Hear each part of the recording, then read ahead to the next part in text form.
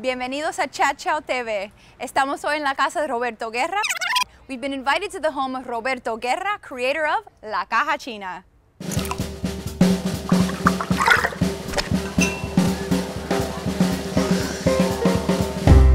Uh, we're drinking uh, Maliduker, Some vinito. Bambinito, right. Vinito. Salud. Salud. It's the first time I've bust out some Cuban on the show. Salud.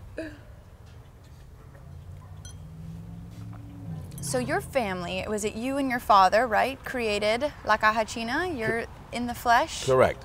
Back in 1955, 56, my father happened to see a, um, a contraption, something similar to what we do in here in El Barrio Chino in Havana. Okay. We had a large population of uh, Chinese in Cuba. And we did a prototype in 1986, and then we started selling in 1987. Now, for those uh, gringos out there that don't know what La Caja China is, explain it uh, in a, like a sentence or two. Basically, La Caja China is a wood box and it's lined with aluminum. Okay. and the heat goes on the top. And that's a good thing about it. It's that it's a indirect heat. There's no heat source on the bottom, so that means you have no flare-ups, no drippings, and you have a you don't have such a dry atmosphere. That's why your your your meats are more moist and tender when you cook them in la caja china. Okay. There are three models, right, of, of La Caja China. Right. And we what's have the difference? Or four? we have four. Okay. Three of the originals. Uh, the difference on, on them is is uh, the size of the animal that you can cook. For example, on Model One, you can do up to 70 pound, whole pig or whole lamb or goat. On the Model Two, you can do up to 100, 110 pounds. Same thing, pig, lamb or goat. And on the Model Three, which is a more of a personal box, you can cook up to an 18 pound. You know, like you can do like 18 pound pig.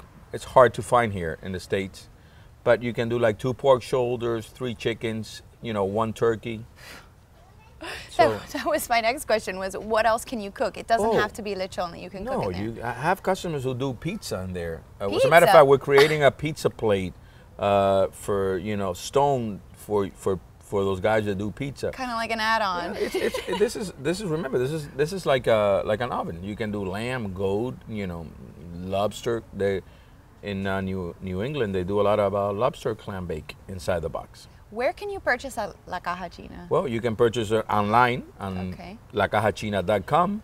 Or you can go to Lowe's, Publix, uh, you know, Ace Hardwares.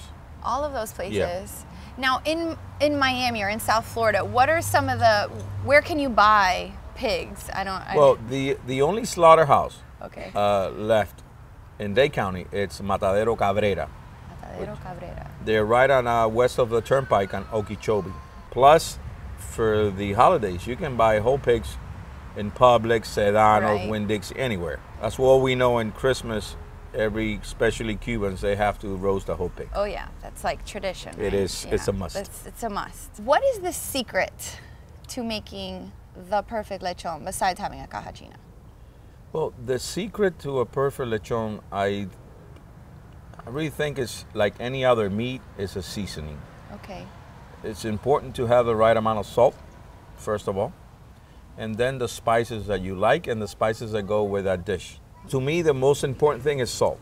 You, you have to be right there. Now a lot of salt, a little salt. What are we talking? Really, and pig, you you add a lot of salt. You do. Yeah. And you rub it. How does it work? You rub it, and see the salt only stays outside, and you do it the night before. okay. So all that salt really is, you know, sinking in into the meat.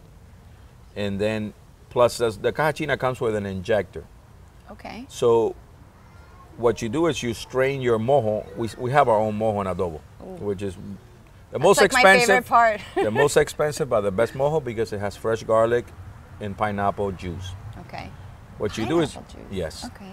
You have to strain it, you know, so you don't clog up the needle.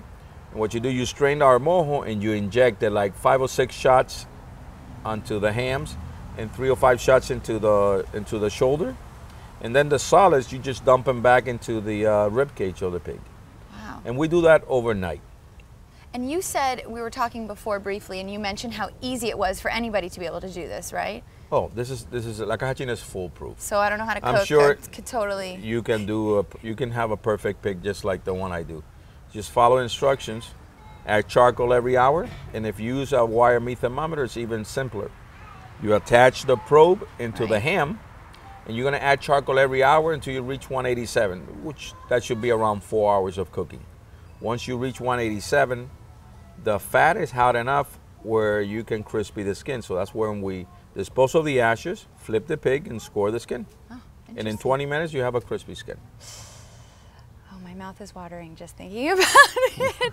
have you seen, and I, I have to ask this, have you seen the McDonald's billboard? Yes. I know. have. What do you say to McDonald's? I mean, that's like they kind of took a stab. Put away la caja china. Well, it, that was fun. Well, it, was yeah, it was fun. fun. I mean, they asked for our permission. Of course, we say yes.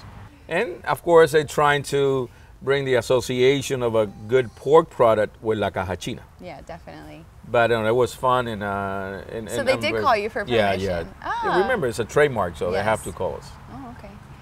Jeff McInnis, he's from Yardbird. I don't know, I'm not sure if you've heard of them. They do Southern cooking. They just opened. He was actually on Top Chef, did Gigi's. Now he's doing a new venture. It's called Yardbird. And he had a question for you. His brother owns a La Caja China, and they wanted to know if you do annual competitions. We're working on it. Okay. It's just like we're looking into do like a Caja China ranch. Oh, which everything's going to be incorporated you know the factory a restaurant you know, a showroom, a cigar room, because we have cigars, we have mojito, we have everything. And one of the things we're going to have is we want to start doing uh, competitions every year. That's right. Cajachina cook-off. Cajachina cook-off. I like it. Yeah. All right. Well, I'll have to let him know so his brother can enter, so he and his brother can enter. Okay. Cheers. Cheers. Thank you very much. Okay. Hey.